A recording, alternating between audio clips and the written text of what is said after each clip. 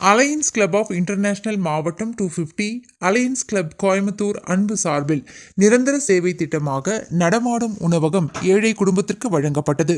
கோவை சௌரிபாளையம் சாலை கியா service centre அருகில் இன்று மாலை அலையன்ஸ் கிளப் ஆஃப் கோயம்புத்தூர் அன்பு சார்பில் நிரந்தர சேவை திட்டமாக ரூபாய் ஐம்பதாயிரம் மதிப்பில் நடமாடும் உணவகம் ஏழை குடும்பத்திற்கு வழங்கப்பட்டது. இதனை மாவட்ட ஆளுநர் அலையன் ஸ்ரீனிவாசன் துவக்கி வைத்தார்.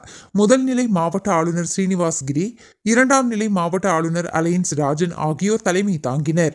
தொடர்ந்து நடமாடும் உணவகம் மூலம் தினந்தோறும் அன்னதான சேவையை துவக்கி வைத்தனர்.